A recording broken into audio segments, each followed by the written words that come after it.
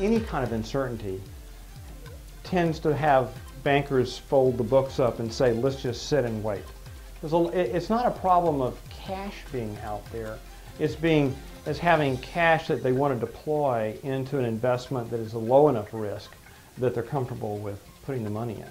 Uh, that the financial community are looking at is, you know, from a from a long-term standpoint, I mean, expecting that plant to be there 10 or 20 years that you're trying to finance.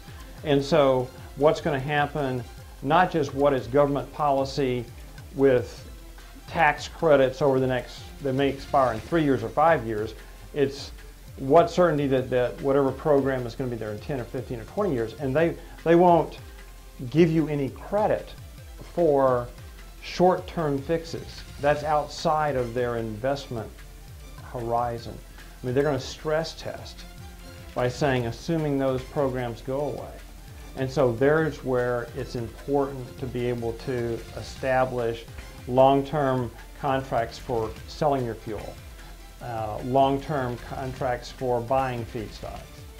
And as just as an example, one of the challenges in dealing with the Department of Defense or the RGSA in general is, you know, with a limitation of five years on contracts, that's not going to get you a lot of credit from a financing standpoint. Long-term certainty is a requirement if you're going to be if you're going to be able to use that from from a financial investment standpoint. And I think that's what, one area where the Advanced Biofuels Association brings a large benefit. You're, you're 40 plus companies that can talk with a common voice and with clarity to Congress and the White House about what's needed to, to meet the objectives that, that the, the political environment would like to see, which is a lot, which is renewable advanced biofuels in the marketplace.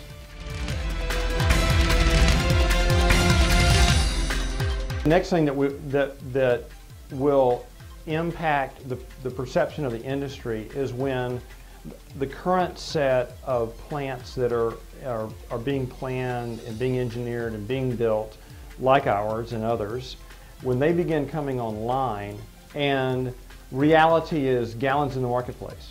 And we do have gallons in the marketplace today. Dynamic Fuels you know, is one good example, but there, there are others. But I think the, that's you know, that's been online, you know, a year or two. And so now what they want to see is an expansion of that. And more importantly, what enables an expansion of that?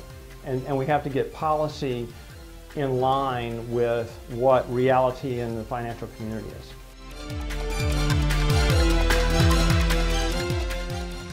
Five years from now, there'll be a lot more production.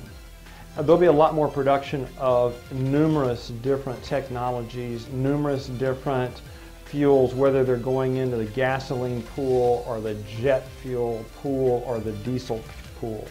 And so one of the things that really helps financial markets is for there being a market of the product out there, enough volume so that there is confidence that, that if we make it, it will be sold, which is going to mean more jobs to more people, new supply chains being created, new types of commerce, new types of service companies uh, uh, coming into the marketplace, diversification of our economy, all very positive things.